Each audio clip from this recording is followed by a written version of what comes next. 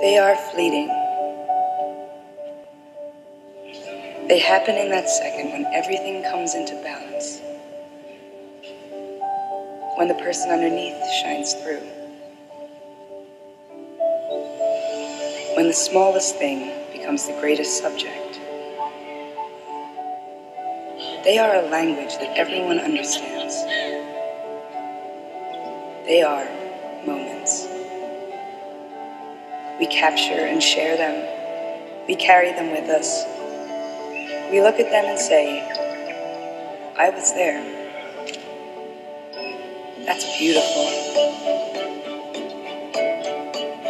That was amazing. Everything in the world has its moment. And this is the moment for you to be at the center of discovery.